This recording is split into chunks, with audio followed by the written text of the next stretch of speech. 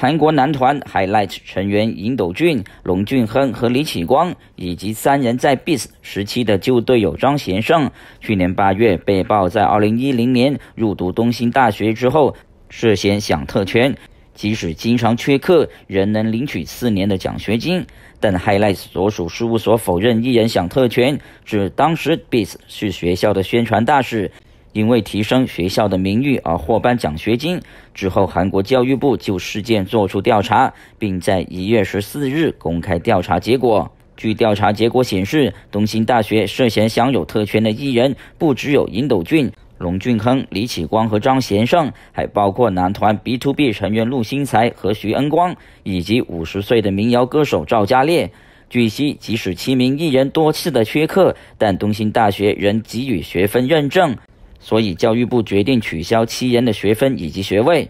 同时，赵家烈虽然没有学位，但仍获东兴大学聘用为实用音乐课的兼任教授，违反大学的特别规例，所以其教授的职位也会被取消。对此，东兴大学承认有艺人被开除学位的事，并指会检讨学校的政策。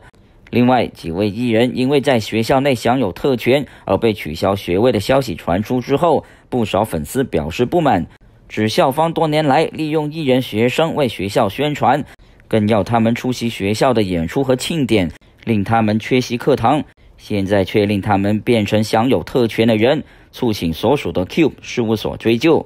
搜狐视频，韩流第一线综合报道。